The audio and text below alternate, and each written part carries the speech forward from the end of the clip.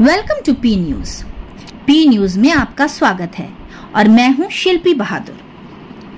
Niroja green India foundation के द्वारा Gorakhpur journalist press सभागार में आयोजित कार्यक्रम में पुस्तक विमोचन एवं उत्कृष्ट विभूतियों को सम्मानित किया गया।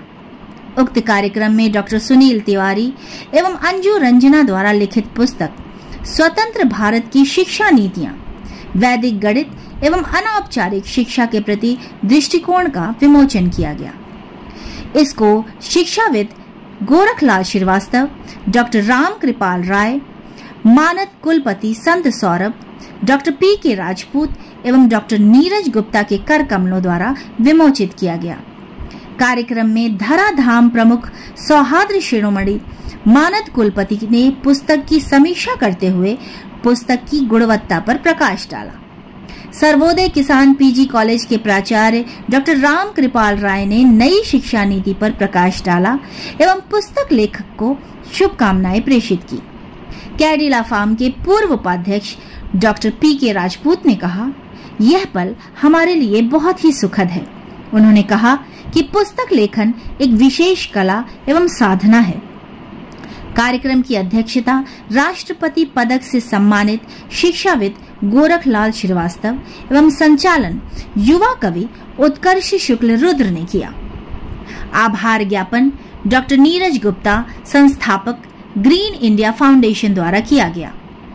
इस दौरान बाल भक्त साध्वी श्वेतिमा माधव प्रिया एवं बाल भक्त सौराष्ट्र पांडे ने अपने मुखार बिंदु से भगवत पुराण के श्लोक सुनाकर सभी को मंत्र मुग्ध कर दिया। कार्यक्रम में कानपुर से डॉक्टर सुनील कुमार तिवारी एवं लखनऊ से अंजू रंजना को निरोजा ग्रीन इंडिया परिवार द्वारा आइकन ऑफ़ इंडिया से सम्मानित किया गया। साथ ही कैडिला फार्मा के पूर्व उपाध्यक्ष डॉक्टर पी के राजपूत को संस्था द्वारा लाला लाजपत राय लोक नायक सम्मान से सम्मानित किया गया। इस अवसर पर doctor Ehsan Ahmad, world record holder, doctor Vinay Srivastava, press club के पूर्व महामंत्री Manoj Yadav, doctor Priyanka Verma Kripa Shankar Rai Satya Prakash Singh, doctor Vinay Jha, doctor Ritu Rajput, Chanchala Shukla, doctor Ragini Pandey, doctor Jitendra Mishra, Pratibha Gupta Shweta Singh Visen, Divakar Shukla, Ekta Gorakhpuri, Vandana Srivastava, Kaushal Kishore, Nadan, Abhishek Singh अनुपम, आके बंसारी जलालुद्दीन, कादरी, मकसूद आलम, राज शेख आदि विभूतियों को भी सम्मानित किया गया।